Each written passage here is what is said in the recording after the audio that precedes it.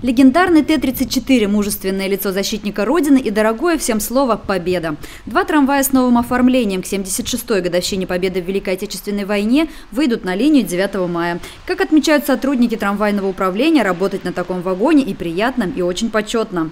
9 мая наша страна празднует победу в Великой Отечественной войне.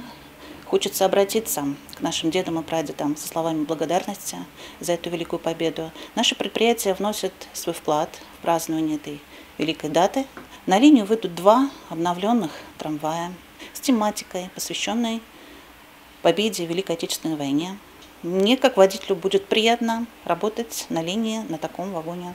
Праздничная атмосфера, созданная внутри вагонов. Плакаты, воздушные шары и детские рисунки, посвященные Дню Победы. Конкурс творческих работ проводился среди детей сотрудников предприятия, а теперь их сможет увидеть весь город. С 9 мая трамвай Победы будет курсировать по Салавату ежедневно. Алена Чернова, Дмитрий Клоков, телекомпания «Салават».